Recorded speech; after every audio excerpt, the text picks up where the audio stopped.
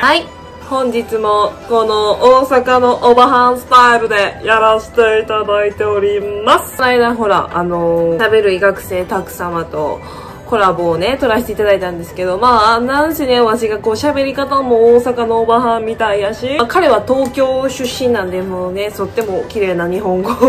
お使いになるし、お上品で、やっぱなんしね、私、どぎつい、大阪の中でも、まあ南なんで、ソースが南なんでね、大阪のオバハンやのに、さらにこの服を着ていることですね、もう完全に上沼恵美込みが増していたということを、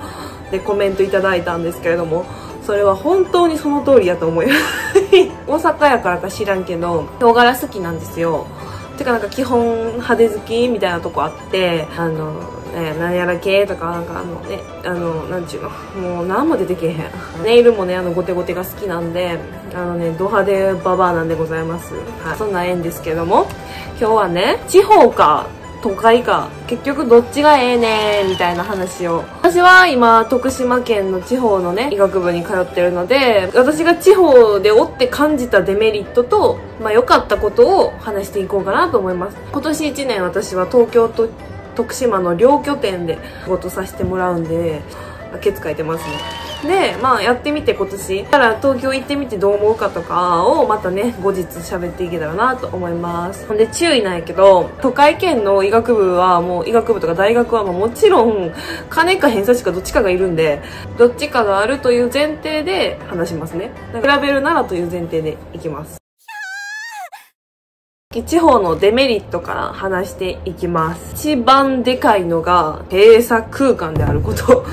本当に、まあ特に私四国やからっていうのもあるかもしれんけど、医療系キャンパスで田舎やから、じゃあ何すんのみんなって言ったら、まあ勉強はもちろんかもしれんけど、まあわしはしてへんけど、部活、飲み会、女、まあ男、男女、恋愛、あとバイト。それって全部内輪ない。内輪や。まあバイトはね、社会と交わるかもしれんけど、言うて田舎にあるバイトなんか時給の低いチェーン店とかばっかりなんですよ。なんか面白い企業さんがあったり、インターンがあったりっていうのはまあない。で、じゃあ自分どうやったかっていうと、私は入った時から、あんまりその大学内に染まるつもりが全くなくて、どっちかっていうと学生しながら働きたかったんですね。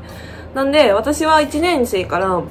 3年生まで個人で、あの、教えたり、家庭教師取ったりしながら、同時並行でメディスタ徳島っていう塾を運営する機会があって、あの、医学生だけの塾、学生だけで運営するっていう塾なんですけど、それをずっとやってて、最初の1年から3年の3年間は、もう基本メディスタにバーンみたいな、もうほぼ100ぐらいなっとったんで、だんだんメディスタもだんあの3年目になって、運用も後輩たちで回してくれるようになって、まあ後輩がやっぱめちゃくちゃ優秀なんで。で、まあだいぶ私の関与するところも減ったってことで、ここでコロナになって、で、YouTube とオンラインサロンを始めて、まあオンラインサロンは、オンラインの個別塾みたいな感じでオンラインサロンと YouTube をやって、4年の時にあの東京の医療ベンチャーのオンラインのインターンをさせてもらってたんですね。それは2年弱ぐらい。だから、前半は元の塾の立ち上げをして、後半は YouTube オンラインサロン、オンラインのインターン、で、東京の医療ベンチャーのインターンをしつつ、で、まあ夜は、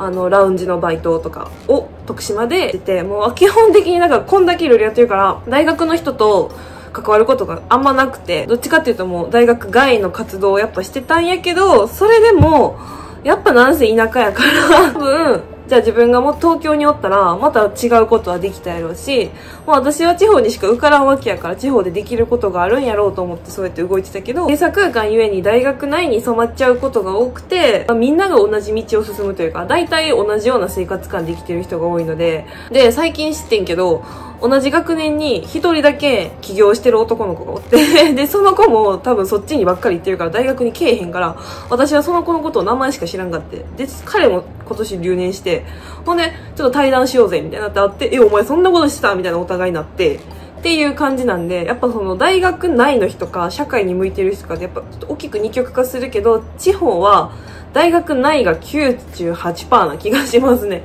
まあ2%は、あの、USMLE だったり、あの、以前動画に出てくれた子とかはもう海外志向やったから、もう休みのたびに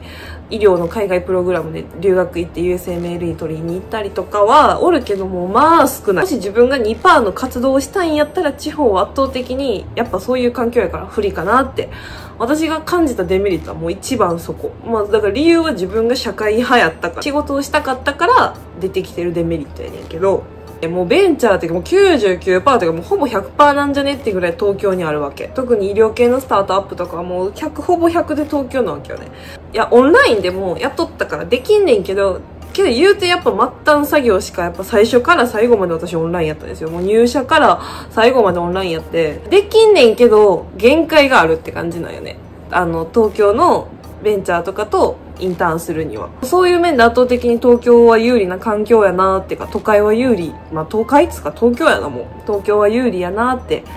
思いますね。やっぱ選択肢がなんせ多い。進路の選択肢だったり、その大学以外の、学校以外の選択肢がやっぱ多いから、そこが圧倒的都会のメリットであり、地方のデメリットかなと思いますね。単一な価値観が蔓延してる感じがするかな、地方は。どっちがいいとかの話じゃなくて、割合がそっちの方が多いってこと。こう、マジョリティが閉鎖空間やから、自分がそっちがすごく息苦しかった時に、抜け出す時に東京と比べてエネルギーとかがか、エネルギーとお金がかかる。ほんまに。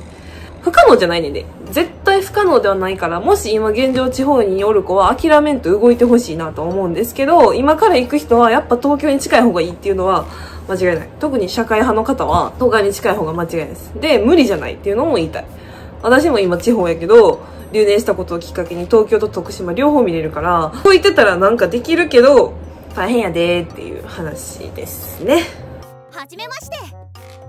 メリットは大学とか青春を超楽しめると思いますみんなほぼほぼ下宿やからさ、もう横見ても上見てもあいつもあいつも友達みたいな、友達んちみたいな、もう横の家友達んち、あいつまた女連れ込んでたみたいな、もうボンボンボンボン蔓延するんで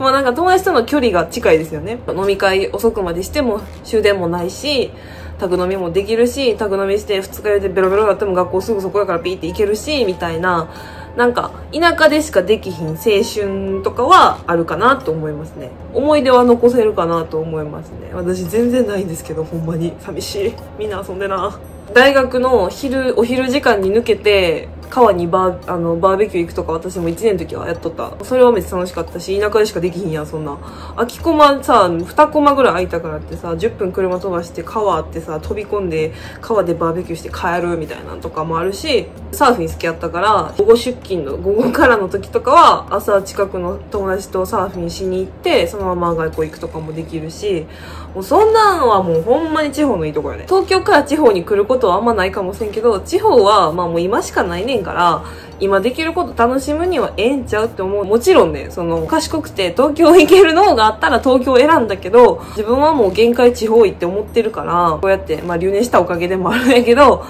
東京でベンチャーに入ってみたり徳島の会社でも働かせてもらえてこう両方見れるからまあ結果オーライやったなって自分は思うんやけどでもこれから行く人はで社会派の人は都内に近い方がいいっていう結論で終わらせてもらいたいなと思います まあだから社会派は東京青春を楽しみたいなら地方みたいな感じじゃないクソ近いからね、ほんまに。もうなんかあいつが女連れ込んだとか、あいつが横の家とかも全部わかるから、あいつがもう誰と付き合ってるとかもうすぐ蔓延するからね、ほんま。この大学もなんかもせんけど、地方は特に近すぎかなと思うけどね。めっちゃか完全にわしの主観やけどね、ほんま。すまへん言うて。だからだいぶ偏った意見やで。その社会派からの意見やからな、私のこれ。仕事に重きを置いた時の意見やからな。また誰が物を言うかで変わってくると思うねんけど、まあ、社会派からすると都内かなっていうことですわ。